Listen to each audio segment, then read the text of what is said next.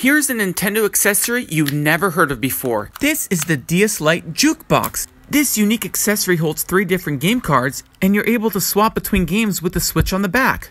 Okay, so let's switch over from Diddy Kong to right there, Tony Hawk. How cool is that? Then when I'm bored playing Tony Hawk, we can switch again, and we got WarioWare on the screen. What a convenient way to switch between games. Guys, thanks for watching. For more fun, it's here at Toon Desk.